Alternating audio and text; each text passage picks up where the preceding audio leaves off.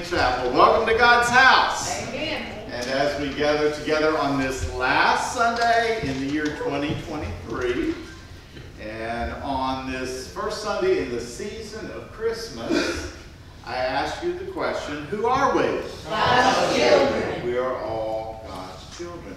You know, in the Christian tradition, you know, in the secular world, after Christmas Day, you know, it's, you know, pretty much over, right? It's supposed to move on to Valentine's or Easter or something like that. But in the cr- Christian tradition, Christmas Day is the That first day. of. How many days of Christmas? 12 Twelve days of Christmas, right?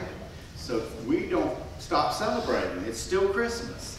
So Merry Christmas to you all as we worship